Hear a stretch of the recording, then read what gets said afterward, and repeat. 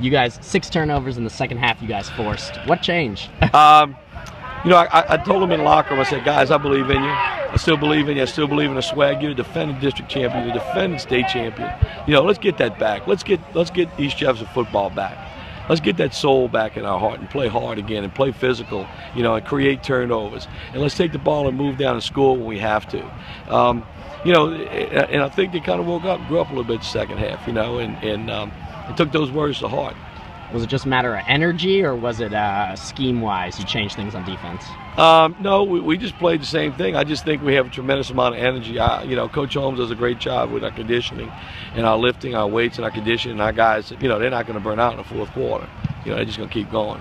Dante Jackson is uh, elusive. He had that big run in the first quarter, but after that, you guys bottled him up. Uh, yeah. He, how'd you guys do that? Um, you know, we just made sure that our linebackers stayed home and they contained. You know, and we got a couple of linebackers that can run. Ronte and Gravante, you know, pretty good fast guys, and um, you know, we were able to bottle him up, and and, and play was good. Um, he just got that one cut back on us where.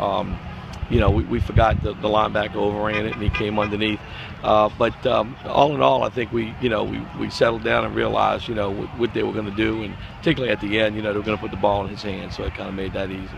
At quarterback, uh, you changed to Trevor Diggs. Um, when when was that call made?